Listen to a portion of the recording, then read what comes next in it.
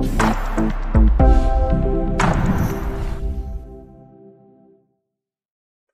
back with another video and in today's video we have an Asus book, Asus VivoBook Flip 14. The exact model is an TP410U. And in this video I'm going to show you guys how to open it up, how to tear it down, to remove the motherboard and to clean up the whole thermal paste, repaste and the fan system. They do suck in a lot of dust in there and you should do your own maintenance every year so you can keep it cool, running cooler and it will run even better and faster. All right, so let's get keep this video really short, as short as possible and get started. First thing first, you want to power off the laptop completely. You want to flip it upside down and you're going to remove all the screws at the bottom cover. Remember the front end screws are the short screws the mid ones are the long one. The back from the left all the way to the almost the right one. These are the same as the mid ones, the long one. And I realized the only medium screw is the one on the right top corner. Is about one millimeter shorter than the, the other long screws. So let me know in the video comment if you guys have the same little bit short three types of screw like uh, a short ones, long ones, and the medium one. Let me know in a video comment if you guys have the same screw sets. For the screwdriver, I'm going to be using an iFixit screwdriver set and we're going to be using a Phillips number one. You can get the Pro set. Uh, on the Pro set, they will include you an opening tool, tweezers, and everything like that. If you don't want to get the Pro set, get the iFixit screwdriver set. I'll leave the link in the video description. Yeah, for the opening tool, I'm going to be using a guitar pick. A metallic guitar pick is really suitable to opening electronics and a curved tweezers. Alright, let's go ahead and remove all the screws.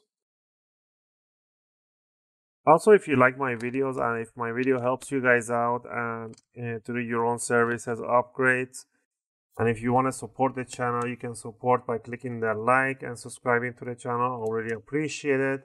And it will be tremendous help and support for me to make more videos and take requests and answer your questions. I really appreciate it. So there we go. I have the short ones, the long, the medium one, and the long one.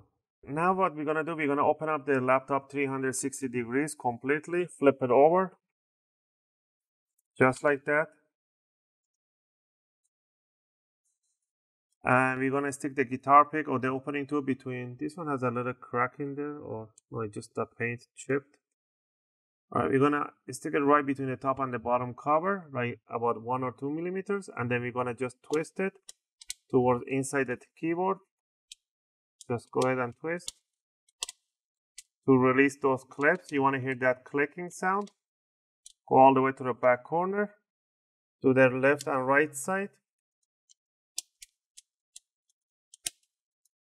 Once you did the left and right side and the front, lift it up and wobble it around a little bit. There's a tiny hooks in the middle. You want to release those, but don't yank it up because there's a flex cables down there. Now, you want to bring it here, open up the slowly, and you want to see some flex cables down there. I usually like to lift it up completely, move it up to the right a little bit so I get more cables to work around. First, we're going to disconnect the a flex cable for the back keyboard backlight. To do that, you need to put your fingers at the back of the jack and lift up the black cover 90 degrees and pull up the jack. I'm gonna go over this and show you guys once I removed everything. The same thing for a flex cable. Put your finger at the back of the jack, lift up the cover and pull out. The same thing for the keyboard. They're all the same, just different sizes. Lift it up 90 degrees and pull out the flex cable and there we go. You can see this one is really dirty so you want to go ahead and take it outside and clean it up with a toothbrush. All right so down here first we gotta remove the hard drive we gotta remove the battery. So let's start with the hard drive. To remove the hard drive there's a i already upgrade the hard drive to an ssd drive. If you want to follow my other video how to upgrade the ssd follow that video we're going to remove six screws. One, two, three, four, five, six screws. Go ahead and remove them.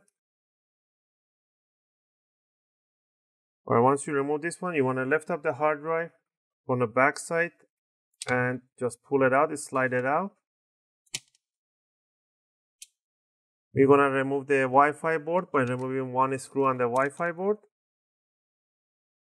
and untangle the cables here and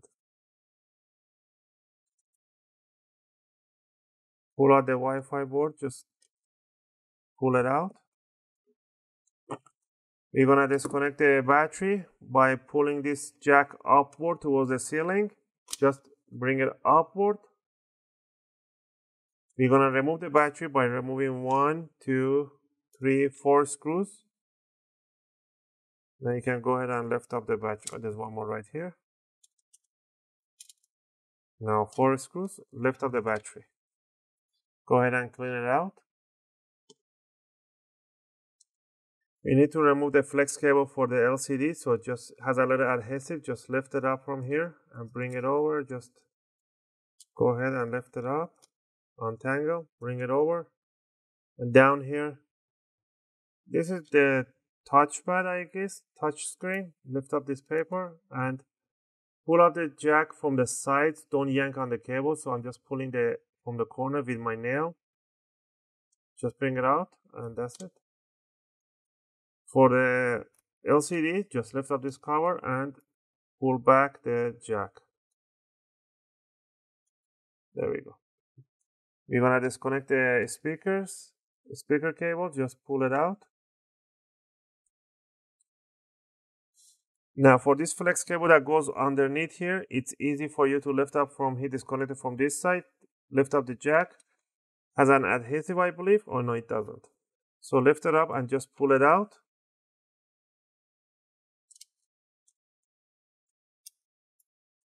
Now we're gonna remove the motherboard by removing one screw, two, and three, four, four screws.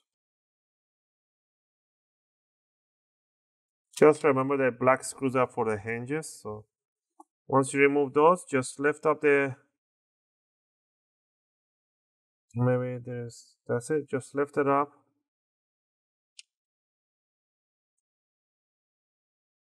Let me see what is holding it. Nothing actually is holding this one to its place. There we go. So help it out from here. The heatsink goes right under these hinges. So just put it right there and help it out to bring it up and lift up the motherboard and slide it out and flip it the other way around. And there we go. Now we can see the whole fan. You can go ahead and clean up this whole place. It's really nice and dirty. So I'm gonna put this one right here. I'm gonna grab a workshop towel and we're gonna place it right on top here and we're to remove the cables for the fan just by pulling this jack backward. From the side I'm not pulling the cables because the cables are really fragile. So I slide out the jack remove the four and five screws for the heatsink. And remove the single screw for the fan right in the corner here. Now you can go ahead and remove the heatsink. It is really dried up, so it's actually hitting the. Just try to rotate and lift it up. So there you go. This is like a hardened thermal paste. So that's why it's over throttling and it's probably full of dust. Let's put the mother. Let's fix first. Remove the thermal paste on the motherboard. We're gonna use an alcohol, isopropylic or isopropylic alcohol on a towel a little bit. And we're just gonna rub it right on top of the die. All you care about is cleaning the die. Don't worry about the all around it. It's like not necessary to clean everything around it as long as you clean the die. But if you want to be really paranoid or whatever, just go ahead and just really rub all around it. I'm just gonna go as much as I can go like this.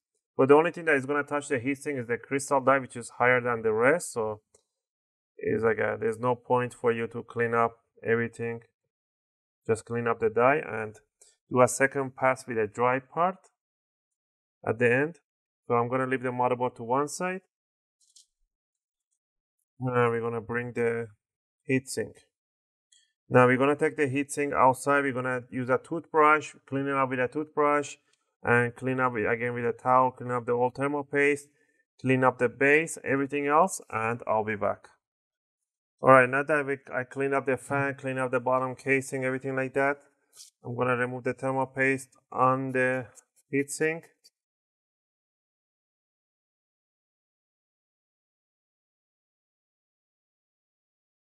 Now what do you want to do? You're to clean up nicely, make sure the crystal die is like a nicely shiny. And we're going to apply the thermal paste.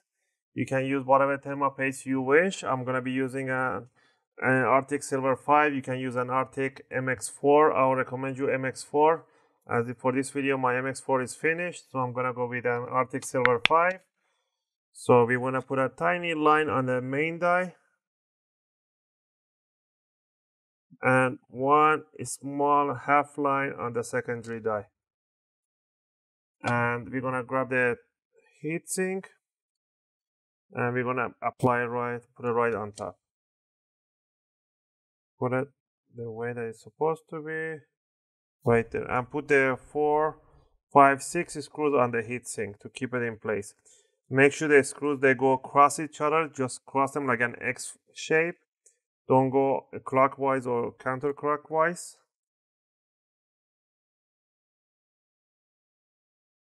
All right, now one thing is very important, always put the fan in.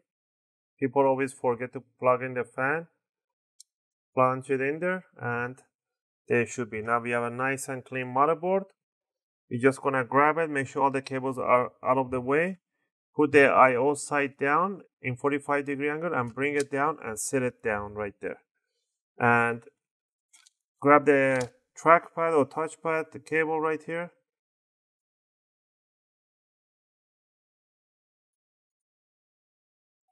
You want to put it right on top and track it down, bring it over and connect it to the connector right in here. It's just pretty much a cable management right there. Bring it in there, put it there, and just accommodate. Make sure the screw hole doesn't uh, pinch, get on the way with your cable. None of them, there's one more right there. So all this cable management is very important. You don't want to pinch them right there or stay there once you put the screw from the top. It's just going to go through this cable, so be careful. And put the two screws right over on this corner, one in here and the other one should be right over here. Okay, so this one is for the doesn't matter. So I thought this was for the casing from the top side, but it's not. So you can actually cover it up with this. So that was my bad. But it's still a good to tape it down. So yeah, no harm done. In here, you do want to come from this side to make sure that it's not pinched together. Or here's going to be battery right now. So grab the battery, bring it over, left of the Wi-Fi. Oh, before you put that, we, we gotta connect this side. I almost forgot about this. Lift out the jack and slide this flex cable right into the connector right there. And lock it down. Grab the battery. Put it right on top. Make sure everything is nice. Put the Wi-Fi connector right there. Slide all the way in and put the screw for the Wi-Fi. and that's it.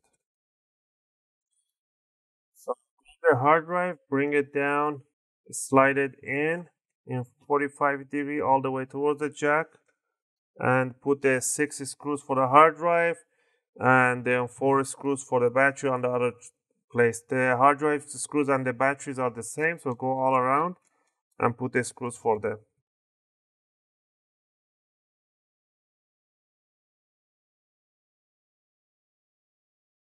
we have all this ready to go, just grab the connector for the battery, align it right on top, just push it towards the jack, and that should be all. Now, one of the last step down here will be to put the palm rest. To put the palm rest, I'm going to open up the screen a little bit.